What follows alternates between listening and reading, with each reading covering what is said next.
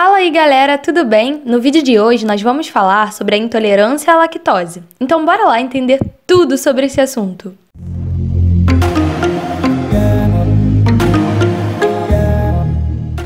Bom, primeiramente, o que é a intolerância à lactose? É a incapacidade parcial ou total de digerir, quebrar o açúcar que existe no leite e nos seus derivados. Pessoas que são intolerantes à lactose não produzem a enzima lactase, que é justamente a enzima responsável pela quebra, a digestão da lactose, o açúcar do leite. Lembrando que alimentos como queijo, iogurte, manteiga, margarina são, em sua normalidade, derivados do leite e, por conta disso, também precisam da enzima lactase para serem digeridos. Mas cuidado, não confunda intolerância à lactose com a PLV, que é a alergia à proteína do leite de vaca na qual o sistema imunológico responde às proteínas encontradas no leite de vaca, fazendo com que a pessoa apresente sintomas alérgicos. Sintomas como erupção cutânea, pele seca, tosse, respiração barulhenta, diarreia, entre diversos outros. A intolerância à lactose não envolve o sistema imunológico, e sim está relacionado com a deficiência para digerir a lactose, pela falta da enzima lactase. E o que acontece quando esses alimentos são consumidos por pessoas intolerantes à lactose? Como a lactose, o açúcar do leite, não é digerido ou então é pouco digerido, ela chega praticamente intacta ao intestino grosso do intolerante. Com isso, ela fica acumulada no intestino e acaba sendo fermentada por bactérias que produzem ácido lático.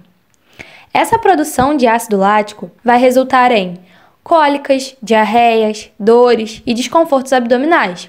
Também pode acarretar em arrotos, gorduras nas fezes, entre outros sintomas. Esses desconfortos vão começar a se apresentar rapidamente, cerca de 30 minutos a 2 horas depois da ingestão desses alimentos. E como fica a situação no Brasil?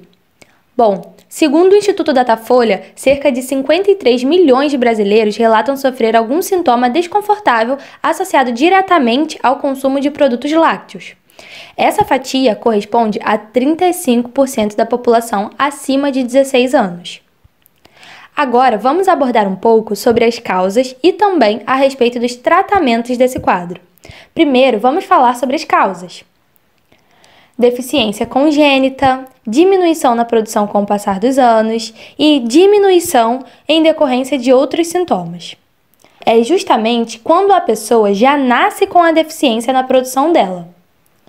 Diminuição com o passar dos anos é justamente o processo natural do envelhecimento, ou seja, conforme a pessoa vai ficando mais velha, ela começa a desenvolver esse problema, né? Essa deficiência, essa diminuição na produção dessa enzima. E o último exemplo que eu apresentei para vocês é a diminuição da produção da enzima lactase em decorrência de outras doenças intestinais, como doenças inflamatórias do intestino, exemplo, doença de Crohn ou gastroenterite aguda.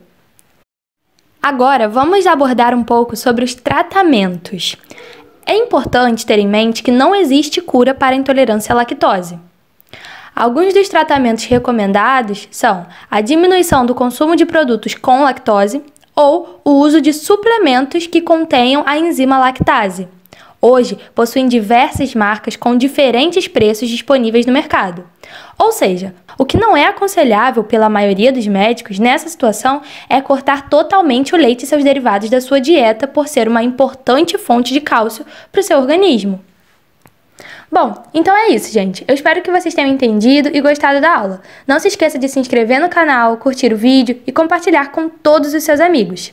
Se surgirem dúvidas, vocês podem deixar aqui nos comentários desse vídeo ou enviar para o meu Instagram, que é o arroba Beijão, galera! Até o próximo vídeo!